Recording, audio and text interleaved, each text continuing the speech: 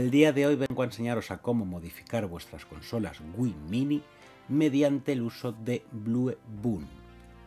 El proceso de modificación es muy muy sencillo, sin embargo requiere muchas cosas. Lo primero de ello, tenemos que tener un USB en formato FAT32. Si por lo que sea la consola no está reconociendo el USB, tendremos que utilizar el programa de Wii Format para poder hacer que la consola reconozca nuestra unidad. Eso por una parte. Lo segundo, necesitaremos un ordenador que tenga Bluetooth. Si el ordenador no dispone de conexión Bluetooth, tendremos que adquirir un dispositivo de Bluetooth. No obstante, este dispositivo tiene que ser compatible con el sistema Linux. ¿Por qué de Linux? Pues porque este es otro requisito, y es que tenemos que utilizar un ordenador con el sistema de Linux. Abajo en el comentario fijado, por supuesto, tendréis un link al producto del USB de Bluetooth, tendréis un link con Ubuntu para que podáis instalarlo. También tendréis un link con el programa de WiiFormat por si acaso tuvierais que utilizarlo para darle formato al USB que utilizaremos en la consola. Y creo que con esto ya tenemos todos los requisitos. Así pues, el primer paso que deberemos de realizar será la descarga del archivo boot.elf que encontraréis en el comentario fijado de este mismo vídeo.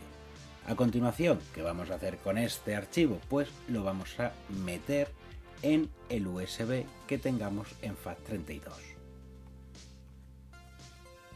Una vez finalizada la transferencia tendremos que introducir el USB en nuestra consola. Esta consola debe de estar totalmente apagada. Una vez hayamos introducido el dispositivo USB en la parte trasera de la consola, en el ordenador que tiene Ubuntu y o bien tiene conexión Bluetooth o bien le hemos puesto el adaptador de Bluetooth, acudiremos al terminal. Aquí lo primero que tenemos que darle es permiso al terminal. Para ello le daremos a sudo su y nos pedirá la clave de usuario. Le daremos a enter y una vez aquí tendremos que copiar el siguiente renglón todo este código lo tendréis también en el comentario fijado. Una vez copiado el código o escrito a mano, simplemente le daremos al botón Enter y aquí en esta nueva pantalla nos pedirá que seleccionemos el modelo de nuestra consola, recordando que este proceso, aunque no es muy popular, también funciona para las consolas de Nintendo Wii. Así pues, como estamos en una Nintendo Wii Mini, le daremos al número 2. Aquí nos pedirá la región de nuestra consola. Si en tu caso es americana le darás al número 1 y si en tu caso es europea como es la mía le daremos al número 2. Le volveremos a dar a Enter y aquí le daremos a Yes. Esperaremos y ahora cuando estemos en el waiting to accept vamos a hacer una pausa, no toquemos nada. Ya estamos de vuelta, chicos. Para vosotros ha sido un segundo y para mí ha sido montar todo el OBS. de acuerdo, una vez tengamos el waiting to accept, lo primero que tenemos que hacer es quitarle las pilas al mando, recordando que la consola actualmente está totalmente apagada. Así pues, una vez hayamos quitado los mandos a la pila, o las pilas al mando, da igual, encendemos la consola.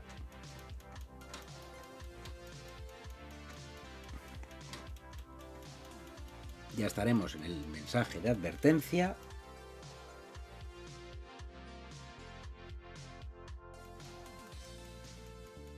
Ahí nos dice que va a repetir el proceso en 5 segundos y ahí tenemos ya la descarga de los archivos.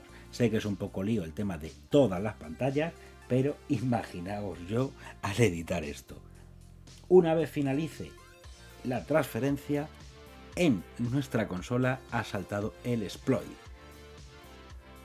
Dejamos Ubuntu por un lado, ¿de acuerdo? No vamos a tocar nada. Esperamos. Ahí sale el pequeño pony. Si todo ha salido correcto y el USB está en formato FAT32, mediante WiForma o de por sí ha sido reconocido, saldrá el HackMe. De quedarse en la pantalla anterior, diciendo que el USB no se puede formar, tendremos que utilizar WiFormat para que el dispositivo sea reconocido. Muy bien chicos, en la consola, ahora sí tendremos que volver a poner las mandas en las pilas. He perdido el mando, ya no sé dónde está. Aquí está, perdonad chicos. Una vez hayamos colocado las pilas en el mando, le daremos al botón 1.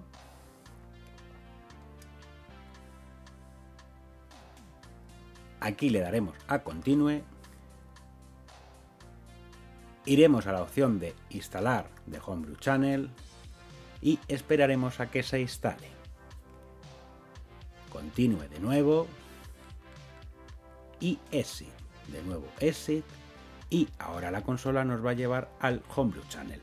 En esta ocasión, ¿qué ocurre? Que está totalmente vacío, ¿de acuerdo? Ya le daremos caña en estos días, no os preocupéis. ¿Qué hacemos ahora? Le vamos a dar al botón Home, salir al menú del sistema y podremos comprobar cómo en el panel del Home tenemos el acceso ya directo al Homebrew Channel. Como podéis comprobar, ahí lo tenemos. Y con estos sencillos pasos le descargamos el archivo, lo metemos en el dispositivo USB y desde la terminal de Ubuntu conectamos a nivel de Bluetooth a la consola, ya tendremos acceso al HackMe, instalaremos el Homebrew Channel y tachan, ya tenemos la consola hackeada. ¿Hemos terminado ya el proceso de hackeo de la Wii Mini? No, todavía no. Nos faltará instalar los CIOs, pero eso ya será en otro vídeo. Y bueno chicos, por mi parte ya nada más. Ya sabéis que cualquier duda, sugerencia o un buen te amo quelonio podéis dejármelo en los comentarios y recordaros por supuesto, por supuestísimo, que siempre vais a tener el servicio técnico de la WIDE a vuestra disposición, ya sea para este proceso o para cualquier otro. Estamos para servir, señores.